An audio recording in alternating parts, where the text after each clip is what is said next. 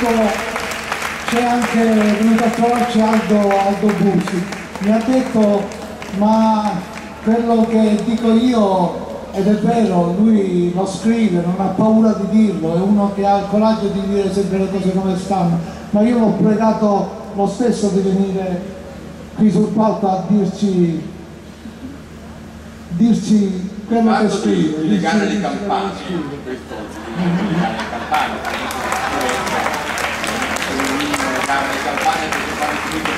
parte del campanile, chissà perché.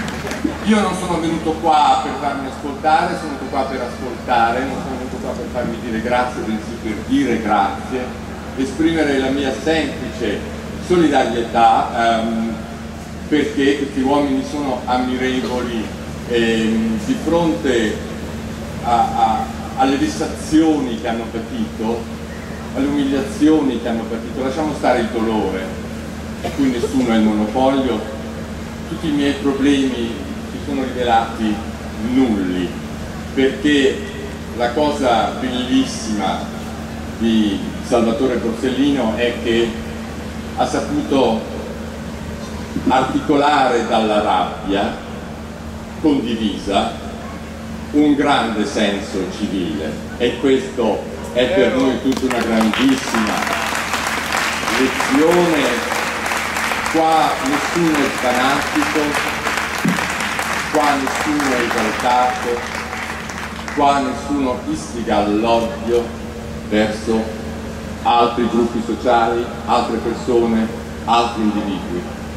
È per me abbastanza singolare essere qui a chiedere verità su un patto di mafia tra patto di mafia, direi tra lo Stato e l'antistato più che tra lo Stato e la mafia del 93, allorché io vorrei sapere qualcosa del patto fra lo Stato e la mafia degli ultimi 93 minuti.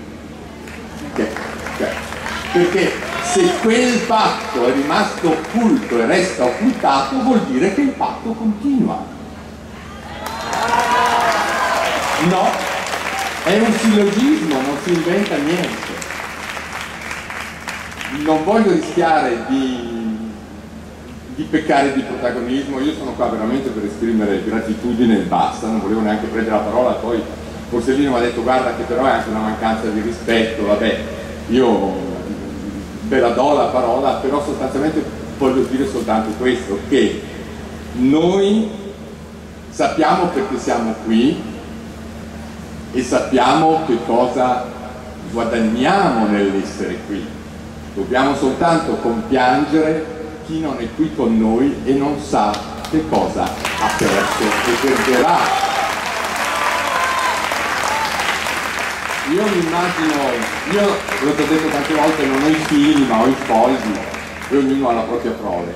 Però mi immagino un genitore, e qua mi sento un po' molto papesco, malgrado me, malgrado le puttanate che ha detto ieri Ratzinger, insomma secondo me dovrebbe essere deportato, ma portatelo là in Germania, giudicatelo attraverso una corte marziale, non per crimini di guerra ma per crimini contro la pace, perché poi il marcio qui è tanto.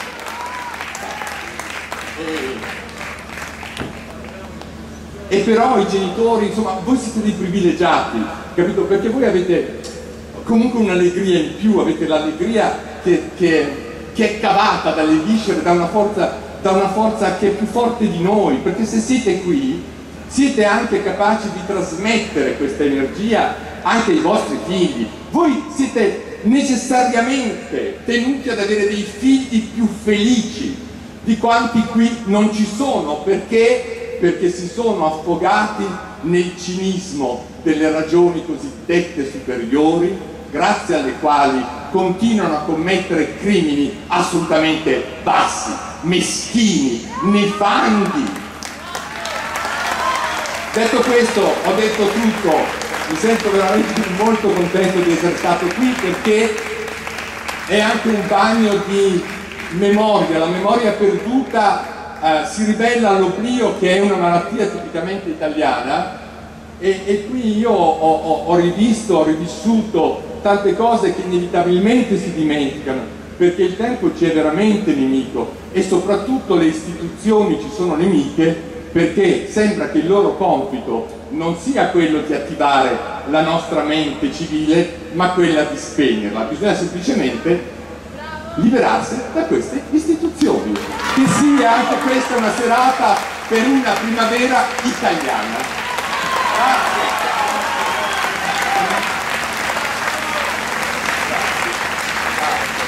Ringrazio Aldo per non averci privato delle sue parole, della maniera in cui le sa, le sa dire e della maniera in cui ce le fa sentire.